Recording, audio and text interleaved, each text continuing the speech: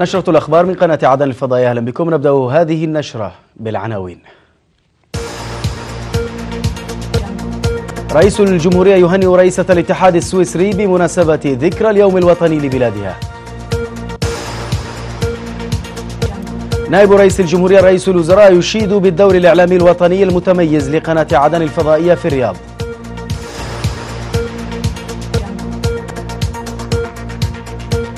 والمقاومة تتقدم في كافة الجبهات وتكبد الانقلابيين خسائر في الأرواح والعتاد العسكري. أهلا بكم من جديد إلى تفاصيل.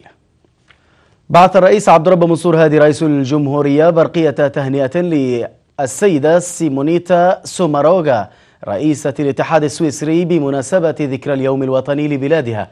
وأعرب رئيس الجمهورية باسمه وباسم شعب وحكومة الجمهورية اليمنية عن أصدق التهاني وأطيب التمنيات بالصحة والسعادة للرئيسة سوماروغا ولحكومة وشعب الاتحاد السويسري طراد التقدم والازدهار. أشاد المهندس خالد محفوظ بحاح نائب رئيس الجمهورية رئيس مجلس الوزراء بالدور الإعلامي الوطني المتميز والأداء المهني الرفيع الذي تؤديه قناة عدن الفضائية في هذه المرحلة الحساسة والتي تمر بها بلادنا وإسهاماتها العظيمة في رفض ودعم وإسناد المقاومة لدعم ميليشيا أو لدحر ميليشيا الحوثي والمخلوع صالح. جاء ذلك خلال زيارته لمقر قناة عدن الفضائية في الرياض. المزيد من التفاصيل في سياق هذا التقرير. قام المهندس خالد محفوظ بحاح نائب رئيس الجمهورية رئيس مجلس الوزراء قام بزيارة تفقدية لمكتب قناة عدن الفضائية في الرياض. وكان في استقباله الزميل فارس محمد سعيد القائم بأعمال رئيس قطاع القناة مدير الأخبار وكافة العاملين في القناة. وفي اللقاء هنأ بحاح العاملين في القناة بمناسبة عيد الفطر المبارك متمليا لهم دوام التوفيق والنجاح في نشاطاتهم وعطاءاتهم الإعلامية المتميزة. مشيدا بالدور الإعلامي الوطني الذي تؤديه القناة في هذه المرحلة في إطار تنفيذها للرسالة الإعلامية الوطنية الملقاة على عاتق جميع الإعلاميين لرفض وإسناد المقاومة البطولية التحررية لدحر ميليشيا الحوثي والمخلوع صالح. أولا تحية لكل القائمين على هذه القناة بهذا الجهد الكبير وبالعدد المصغر.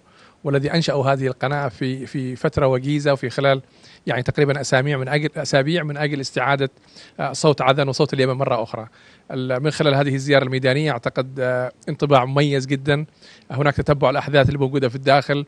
بإذن الله في الأيام القادمة في الأسابيع القادمة أن نكون معا في في في القناة الرسمية موقع القناة الرسمية في مدينة عدن في منطقة التواهي بإذن الله قريبا. وأعتقد أن هذا الجهد لن ينسى سوف يكتبه التاريخ أن هناك شباب وشابات استطاعوا أن يقدموا يعني صوت عدن ولن ينطفئ في أبدا في ظل في عز ال ال وأصعب الظروف الذي الذي مرت بها عدن. هذا واستمع نائب الرئيس رئيس الوزراء إلى الهموم والمصاعب والمتطلبات الضرورية لدعم القناة وتطويرها ووعد باتخاذ الإجراءات العاجلة والكفيلة بتحقيقها. كما تحدث عن عدد من القضايا الوطنية وما قدمته الحكومة وما ستقدمه للمواطن خلال الفترة المقبلة خاصة بما يتعلق بالإغاثة في عدن والتي تحررت من دنس ميليشيا الانقلاب والتمرد. الأساس والهدف الرئيسي في الوقت الحاضر هو الإغاثة، أعتقد أنها الأيام القادمة وربما قدم الأسابيع الماضية أو الأيام الماضية شاهدت عدد من من الطائرات وهناك أسطول كبير من الطائرات بإذن الله سوف تكون في في مطار عدن. المركز الرئيسي الآن للإغاثة بشكل كامل في اليمن سوف يكون من عدن بدلا من جيبوتي والشكر الجزيل كذلك لأشقائنا في جيبوتي الذي استضافونا الاشهر ماضية. ونقول بإذن الله عدن سوف تشهد يعني حراك كبير جدا من خلال نقل الإغاثة اكان برا أو جوا أو بحرا. وقد لاحظناها في الأيام الماضية وسوف تلاحظوها بشكل كبير جدا بإذن الله عند استكمال البنى التحتية الذي تضررت في خلال ال ال الأشهر الماضية. رافق نائب الرئيس رئيس الوزراء في هذه الزيارة وزير حقوق الإنسان الوزير المكلف بوزارة الإعلام الأستاذ عز الدين الأصبحي. والأستاذ اسكندر الأصبحي مدير مؤسسة الإذاعة والتلفزيون وعدد من المسؤولين في الدولة. دعا رئيس لجنة حقوق الإنسان العربية الدكتور هادي بن علي اليامي جميع هيئات حماية حقوق الإنسان في جامعة الدول العربية والأمم المتحدة وخاصة مجلس حقوق الإنسان للتحرك الفوري للتحقيق في الجرائم التي ارتكبها أو تم ارتكابها في اليمن من قبل الميليشيا الانقلابية وإعداد تقارير عنها لملاحقة المتورطين ومحاسبتهم على هذه الجرائم. هذا طالب دكتور اليامي في بيان له اليوم الهيئات المسؤولة عن تقديم الإغاثة والدعم بتكثيف جهودها لتطويق الأزمة الإنسانية الصعبة التي يرزح تحتها ملايين السكان من المدنيين في اليمن. وأكد دعم مسار حقوق الإنسان في اليمن وتلبية دعوة الحكومة اليمنية إلى زيارة عدن وتعز وكذلك المناطق اليمنية كافة مشددا على أن لجنة حقوق الإنسان العربية تعد أو تعد التمرد المسلح والذي تقوده جماعة الحوثي والقوات الموالية للمخلوع صالح تهديدا خطيرا وجسيما لجملة الحقوق والحريات الواردة في الميثاق العربي لحقوق الإنسان وكذلك معايير حقوق الإنسان العالمية.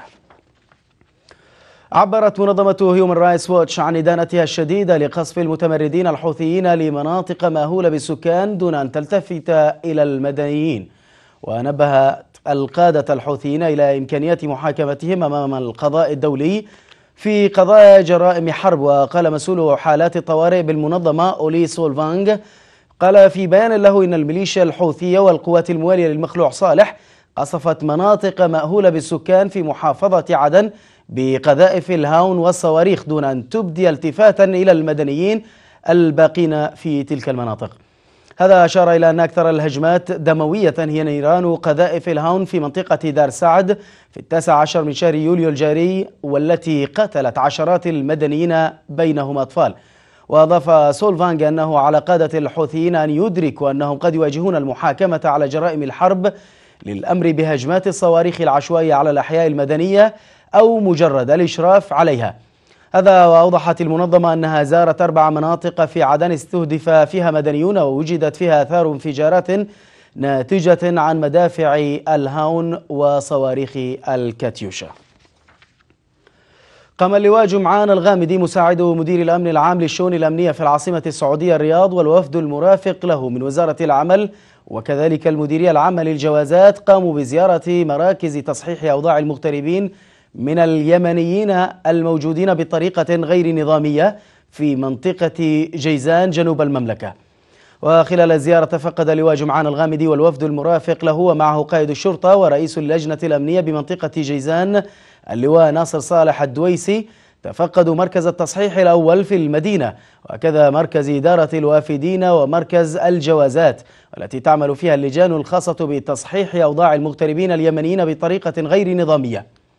واطلع لواء جمعان الغامدي على سير العمل في مراكز التصحيح بالمنطقة مشيدا بما تقوم به اللجان الخاصة بعملية التصحيح من جهد كبير وإنهاء إجراءات تصحيح الأوضاع بكل يسر وسهولة.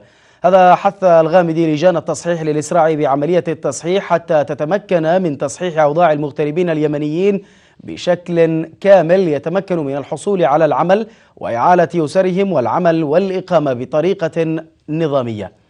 ودعا الغامدي كافة المغتربين اليمنيين المقيمين بطريقة غير نظامية للاستفادة من المكرمة الملكية والتي ستنتهي يوم الثلاثين من شوال الجاري.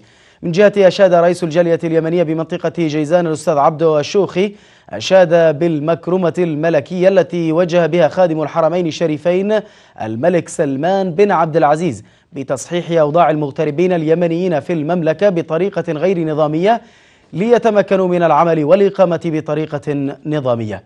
هذا عبر المغتربون اليمنيون بمنطقة جيزان عن خالص شكرهم لخادم الحرمين الشريفين الملك سلمان بن عبد العزيز على هذه المكرمة الملكية كما عبروا عن شكرهم للجوازات السعودية بالمنطقة. وكذا الجالية اليمنية والقنصلية اليمنية على اهتمامهم بأبناء الجالية اليمنية بمنطقة جيزان. وصلت اليوم إلى مطار عدن الدولي الطائرة الإغاثية السعودية الرابعة والتي تحمل عشرة أطنان من المستلزمات الطبية والتي تأتي إنفاذا لتوجيهات خادم الحرمين الشريفين الملك سلمان بن عبد العزيز آل سعود بتقديم مساعدات عاجلة لأبناء الشعب اليمني في عدن وفي مختلف المحافظات. هذا قالت اللجنة العليا للإغاثة إن طائرة الإغاثية الرابعة التي وصلت اليوم إلى مطار عدن الدولي تحمل عشرة أطنان من المستلزمات الطبية والأدوية والمحاليل الطبية لمرضى غسيل الكلى والتي سيتم توزيعها على كافة المشافي والمراكز الطبية في مختلف محافظات الجمهورية. كما أشارت اللجنة إلى أن طائرة الإغاثية بيرافقها فريق إغاثي من مركز الملك سلمان للإغاثة والأعمال الإنسانية وكذا فريق من منظمة أطباء بلا حدود. قدم برنامج الأغذية العالمي مواد غذائية لنحو 340 ألف شخص في ثمان من المناطق الأكثر تضررا بمحافظة عدن. وأعلن البرنامج في بيان له أنه يقوم بتوزيع حصص غذائية تشمل دقيق القمح والبقوليات وزيت الطهي مشيرا إلى أن الحصص الغذائية تكفي لمدة شهرين. هذا أضاف أنه يعمل على التغلب على انعدام الأمن للوصول إلى الأسر اليائسة وغير قادرة غير القادرة على إطعام أطفالها هذا تمكن البرنامج منذ إبريل الماضي من الوصول إلى أكثر من مليونين ونصف المليون شخص من المتضررين من النزاع ومن شدة انعدام الأمن الغذائي في 13 محافظة في اليمن. الجدير بالذكر أن المساعدات الإغاثية والغذائية والطبية إلى محافظة عدن يأتي بعد أن تمكن أبطال المقاومة وقوات الجيش الوطني الموالي للشرعية من تطهير محافظة عدن من الميليشيا الحوثية المتمردة وقوات المخلوع صالح الانقلابية. أفادت مصادر في المقاومة بعدم بأن قواتها مدعومة بوحدات من الجيش الوطني سيطرت على نقطة العلم الاستراتيجية والواقع على الطريق الرابط بين محافظتي عدن وأبين والتي تعد موقعا مهما يربط بين محافظات عدن ولحج وأبين هذا أكد قادة في المقاومة استمرارهم بالتقدم حتى تحرير باقي المناطق في لحج وأبين لتأمين كل الطرق المؤدية إلى مدينة عدن. وتشهد مناطق شمالي عدن مواجهات بين المقاومة وميليشيا الحوثي والمخلوع صالح بعد أيام من تحرير عدن وبعد ويعد مثلث العلم من أهم النقاط أمنيا وعسكريا وهو منطقة مفتوحة تربط عدن وأبين وتتصل أيضا بمحافظة لحج. هذا كانت قد شنت قوات التحالف العربي غارات على معسكر اللواء 15 في مدينة زنجبار مركز محافظة أبين. بينما في تعز أكدت المقاومة الشعبية أنها سيطرت على تبة مسعود الاستراتيجية بعد اقتحامها قرية حدنان بدعم من وحدات من المجلس العسكري في المدينة. وأضافت أن قتلى وجرحى من ميليشيا الحوثي وقوات المخلوع صالح سقطوا في كمين نصبه أفراد المقاومة بالقرب من مدينة الصالح بالحوبان شمال تعز. وأكدت مصادر ميدانية أن أربعة قتلوا وأصيب نحو عشرين آخرين من الميليشيا وأن عشرات آخرين فروا إلى منطقة الوادي في تعز. أعلن أبطال المقاومة في الضالع اليوم مقتل 18 من مسلحي ميليشيا الحوثي والمخلوع صالح بمنطقة سناح في المحافظة. وقال مصدر في المقاومة إنه تجددت المواجهات بين المقاومة والانقلابيين في منطقة سناح الواقعة شمال مدينة الضالع منذ مساء أمس وحتى صباح اليوم.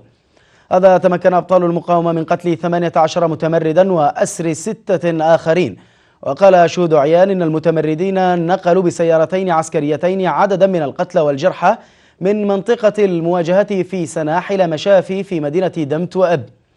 من جهتها أفادت مصادر طبية في الضالع باستشهاد أربعة من أبطال المقاومة وإصابة آخرين نقلوا إلى المشفى لتلقي العلاج. قتل 18 على الأقل من ميليشيا الحوثي والمخلوع صالح وجرح آخرون في مواجهة مع أبطال المقاومة والجيش وغارات لطيران التحالف وغارات لطيران التحالف منذ مساء أمس وحتى صباح اليوم في محافظة مأرب. ذكرت مصادر في المقاومة أنهم تصدوا لهجوم عنيف شنه الحوثيون في جبهة المخدرة شمال غرب المحافظة وقتل خلالها ستة من المتمردين وجرح آخرون. هذا أشارت المصادر إلى أن من مواجهات بأسلحة ثقيلة اندلعت في وقت متأخر من مساء أمس واستمرت حتى صباح اليوم قتل خلالها أربعة من المتمردين وجرح شخص آخر. إلى ذلك شنت مقاتلات التحالف العربي نحو عشرين غارة جوية منذ مساء أمس مستهدفة مواقع وتجمعات وآليات للحوثيين في مناطق متفرقة من محافظة مأرب. وفي البيضاء لقي عدد من الحوثيين حتفهم مساء أمس جراء كمين نصبته المقاومة الشعبية ضد حافلة تابعة للحوثيين. وقال سكان محليون إن المقاومة نصبت كمينا لحافلة كانت تقل عددا من المتمردين. كانوا في طريقهم إلى مدينة شبوة مشيرة إلى مقتل جميع من كانوا على متنها. وفي سياق آخر أفادت المصادر بأن اشتباكات عنيفة اندلعت بين المقاومة وميليشيا الحوثي والمخلوع صالح وقرب جبل الثعالب بقيفة رداع شمال البيضاء. نهاية النشرة وهذا تذكير بأبرز العناوين.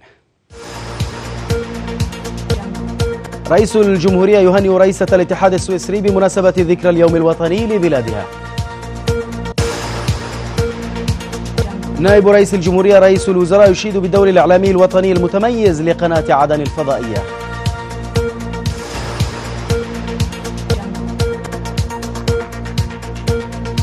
والمقاومة تتقدم في كافة الجبهات وتكبد الانقلابيين خسائر في الأرواح والعتاد العسكري. انتهت النشرة شكرا للمتابعة. إلى اللقاء.